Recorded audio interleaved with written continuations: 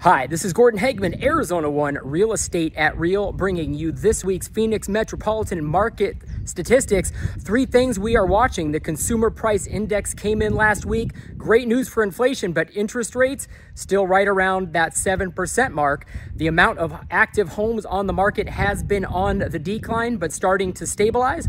And we're also looking at buyer demand, which looks to be dropping off a little bit. So we'll see what happens and uh, enjoy this week's market statistics.